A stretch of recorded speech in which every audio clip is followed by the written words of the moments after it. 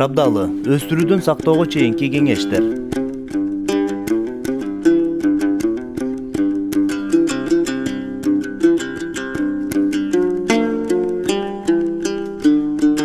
шабдалы эң эле көп талапка ээ болгон баардыгы сүйүп жеген мөмө айыл чарбасында тез жетилип жогорку түшүмдүүлүгү менен кирешелүү өсүмдүк катары белгилүү көптөгөн фермерлер шабдалы өстүрүүгө өтө баштады. Анткени жакшы каралган шабдалы багынын бир гектарынан он беш жыйырма тоннага чейин түшүм алууга болот.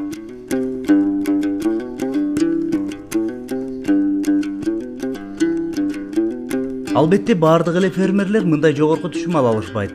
Шабдалынын пайдасы менен бирге эле багуудагы түйшүгү да жок эмес. Туура эмес асыроодон улам илдет түшүп түшүм ала албай. Ал тургай дарактары куурап кетип дыйкандар куру кол калгандарын да көрүп жүрөбүз баткен областында красный восток аттуу мөмө бактарын асыроо боюнча бизнес кызмат көрсөтүү ишканасы уюшулуп жүздөгөн фермерлер мүчөлүккө биригип шабдалы асыроонун жаңа агротехникасы колдонула баштады. Биз бул фильмде адистер менен шабдалыны туура багуунун жол жобосун айтып бермекчибиз. Видео сабактын акырында красный восток кызмат көрсөтүү ишканасы боюнча кененирээк маалымат алсаңыз болот.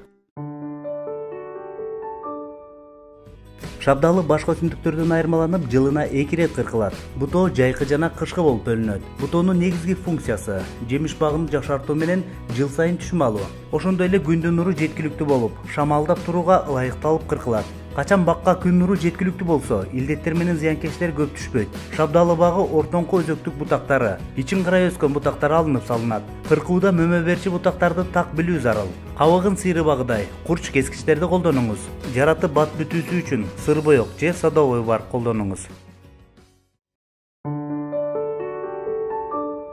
кыргызстандагы көпчүлүк фермерлер негизинен жерди семиртүүгө кык же минералдык азыктарды колдонушат алды топуракты лабораториядан өткөргөнүңүз жакшы. Комплекс анализди кара суу районунун кашкар кыштак айылында жүргүзсөңүз болот. Анализ жүргүзүү болгону жети жүз элүү сом турат. Шабдалынын тегиз бирдей жакшы өсүүсү үчүн бир гектарга жыйырма тонна чирген кыкты. Кеч күздө же эрте жазда беребиз. Кыкты бактын түбүнө эмес бутак сабактары бүткөн жерге бергенибиз туура. Анткени дарак тамырынын учу менен азыктанаарын эстен чыгарбоо керек. Кыркты күзүндө бериш керек себеби булар өсүмдүк жей турган абалга беш алты ай дегенде жетет ошон үчүн ушул бергениңиздер туура анан бергенде ушундай бутак каерге жетсе өсүмдүк тамыры ошол жерге келет өсүмдүк тамырдын учу менен азыктанат шабдалы бактарына башка өсүмдүктөр сыяктуу эле азот. Фосфор калийлик жер берүү керек болот. Амофоз менен калий хлоридин бир гектарга очканга чейин экрандагы доза менен беребиз. Альтернатива катары бир гектарга эки жүз элүү килограмм диамофосканы колдонсок болот. Аталган азыкты бак бүчүрө ала электе кык менен бергениңиз туура. Эгерде бактарда азот жетиштүү болсо жылдык өскөн бутакчалар отуз сантиметрге чейин жетет. Көпчүлүк фермерлер мөмө бактарына калий беришпейт. Бул туура эмес. Анткени калий мөмөнү ширин кылып көпкө сакталуусуна жардам берет. Селитраны бир гектарга экөө бөлүп беребиз. Биринчиси гүлдөп бүткөндөн кийин. Биринчи дозадан жыйырма күн өткөндөн кийин калган бөлүгүн берсек болот. Же ошондой эле шарт менен мочевинанын эки жүз кырк килограммын эки бөлүп беребиз. Жер семирткичте дагы агрономияда нпк деген закон бар. Ар бир өсүмдүккө мөмө дарак эле эмес. Баардык өсүмдүктөргө азот фосфор калий керек. Бул баягы химиялык э, формуласына карап нпк деген закон бар. Ушул законду бузбаш керек. Ар бир дыйкан билиш керек. Азот фосфор калий. Бул сөзсүз колдоно турган жер семирткичтер муну сөзсүз бериш керек. Азыр дыйкандардын көпчүлүгү азот азоттук эле жер семирткичтерди берген үчүн жакшы жыйынтык албай атышат дарак гүл ачканда сугаруууда дарылоонууда отурумдук токтотуу керек. Кошуналарга да эскертүүнү унутпаңыз. Шабдалы сууну өтө жакшы көргөн өсүмдүк. Өзгөчө аптапта мөмө түйгөн учурда көбүрөөк суу керек болот. Мөмө түйгөндөн кийин данеги катыгыча тунугуп алабыз антпесе сырткы кабыгы жарылып кетүү коркунучу бар. Эрте бышчы сортторуна эки үч ирет сугаруу керек болсо ал эми кеч быша тургандары беш алты ирет сугарылат э, дарактардын бутагы канчалык жайылган сайын тамыры дагы жайылып туруп э, азыкты дагы сууну дагы мөмөлүү дарактар тамырдын учу менен э, кабыл алат ошондуктан э, дарактар чоңойгон сайын арыктарды жылдырыш керек. Же болбосо баягы байыркы байыркы эмес баягы ата бабалардын жайма сугаруусун колдонсо болот бакка арык чыгарбай эле жайып сугарса чоң эффект берет. Бакка сууну эртең менен эрте же кечкисин койгон жакшы.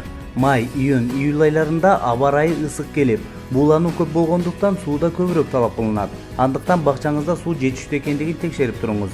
Түшүм терилгенге бир ай калганда акыркы ирет сугарабыз бул ыкма жемиштин жетилүүсүнө шарт түзөт андан кеч суу берүү мөмөнүн суусун көбөйтүп канттуулугун азайтып жиберет тери жүйү аяктап жалбырак толук түшүп бүткөндө нымдуулукту кармап турууга тоң турма кылып койсок болот мөмөлөргө азык бирдей жетип жетиштүү өң алып жана тийиштүү көлөмдө өсүп чоңоюусу үчүн топтошкон мөмөлөрдүн ортосун беш сантиметр аралык калгыдай кылып кичинелерин үзүп салуу менен суюлтсак болот.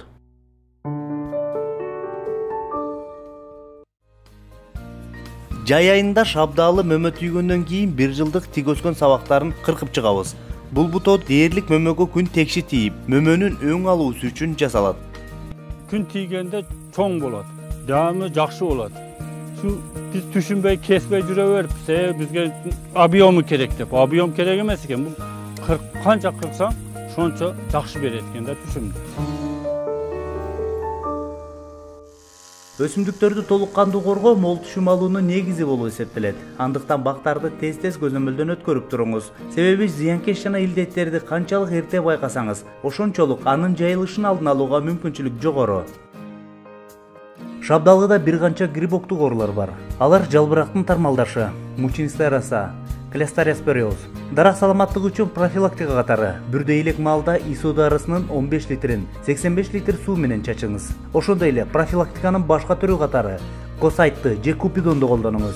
Косайтты бүр ачканга чейин биринчи ирет чачып гүл бариктеринин сексен пайызы түшкөндө экинчи ирет кайталаңыз. Косайтты чачкандан эки жума өткөндө скордун эки жүз миллилитрин бир гектарга же хорустун үч жүз элүү граммын гектарына колдонсок болот. Унсумал актактар пайда болсо ал илдет мучинистая раса деп аталат. Ага каршы стробий фунгуцидинин эки жүз граммын бир гектарга колдонуңуз. Эгерде жаанчыл аба ырайы болсо он күн сайын фунгуцидтерди чачууну кайталоо керек. Шабдалыда мите шитовка плодожорка желегенеси сыяктуу зыянкечтер кездешет мите жана плодожоркага каршы авант же корагенди же болбосо ланат инсектицидтерин колдонуңуз эң жакшысы плодожоркага каршы феромон тузагын колдонсоңуз болот феромон тузак аркылуу зыянкечтерге каршы инсектицидтерди качан чачарыңызды билип турасыз феромон тузагындагы плодожорканын саны бештен ашса он он беш күндөн кийин тийиштүү инсектицидти чачсаңыз болот шитовкага каршы февраль айында бак бүчүр байлаганга чейин бакча майынын үч литрин жүз литр суу менен чачабыз бакча майын таппасаңыз өсүмдүк майына айна кошуп ушул эле өлчөм менен колдонсоңуз болот желегенесине каршы энвидор агарицидин колдонсоңуз болот эскертүү агрохимикаттарды гүлдөө маалында чачуу болбойт айрым дары дармектер үй жаныбарлары адамдарга ал тургай сиздин мөмө дарак үчүн пайдалуу бактерияларды арыларды өлтүрүп коюшу мүмкүн кошуна бакчалардын ээлерине да бул маалыматты жеткирип коюңуз бакты дарылоодо коргоочу кийим кийип колгап көз айнек сөзсүз тагыныңыз агрохимикаттарды адам колу жетпегидей салкын жерде сактаңыз бошогон идиштерди өрттөп салуу керек. Чачкычты суу менен таза жууп үй жандыктарынан алыс жерде сактаңыз мына күз мезгилине келип жеттик сезон ичинде агротехникалык эрежелерди туура колдонуп. Адистердин кызматынан пайдаланган фермерлердин тапан кирешеси мурдагы жылдарга салыштырмалуу эки эсе өскөнү байкалган. Жыйынтыкта башка бактарга салыштырмалуу болуп көрбөгөндөй өзгөрдү. Азыр ушул бир гектар отуз соток мөбөгө кирген быйыл онду чамалап турам он тоннаны. Бактарын эски ыкма менен баккан фермерлер быйыл да түшүмсүз калышкан. Жакшы болуп атыбы же аз неме кылдым ушундай илдет пайда болду да. Рот пайда болот же бир дак пайда болот анан бир жака сатышка кыйын болуп калат экен эгерде сиз бакчаңызды өз алдыңызча асыроого кыркы иштерин жүргүзүп зыянкечтерге каршы күрөшүүгө мүмкүнчүлүк аз болсо кадамжай районунун көктал айылында жайгашкан красный восток кызмат көрсөтүү мекемесине экрандагы дарек боюнча кайрылып кызматынан пайдалансаңыз болот жемиш жетилип бышты. Терүүгө мезгил келгенин кантип билүүгө болот. Шактагы мөмөнү колуңуз менен жогору түртүп көрүңүз бутагынан тез ажыраса анда үзө берсек болот. Шабдалыны эки үч бөлүк менен үзөбүз алгач күн тийген жактарындагы кызыл мөмөлөр алынат андан кийин гана улам кызарганын терип турабыз шабдалы өтө назик болгондуктан көпкө сакталбайт кургап же чирип кетиши мүмкүн шабдалыны бир жарым айга чейин гана сактоого болот ал үчүн катууларын жанчылбай ооруга чалдыкпагандарын терип алабыз ар бирин кагазга ороп чыгуу менен бир катар кылып жыгач кутуга тизип чыгабыз мурда буга чейин сатыш проблема болгон биздечи себеби дегенде транспорт маселеси жол маселеси кыйын болгон акыркы беш алты жылдан бери ошо жол маселеси чечилгенден бери мына казакстан россия менен кирди чыкты жолдор ачылгандан бери жакшы болуп калды анан азыр бүгүнкү күндө бүт машиналар заманбап фура машиналар холодильник менен болду дагы муздаткычы менен. Бүгүнкү күндө ушу россияга казакстанга прямо бизге түздөн түз өзүбүздөн алат шабдалыны нөл градус температурада сактайбыз он градус жылуулукта эле бузула баштайт баткен областында шабдалыны учурда өндүрүштүк муздаткычтарга сактап жүрүшөт байкаганыңыздай жыл ичинде өз малында дарыланып кыркуу иштерин туура жүргүзгөн шабдалыны сактап экспортко чыгарсаңыз көп кирешелүү болосуз шабдалы өстүрүүдө сизге ийгилик каалайбыз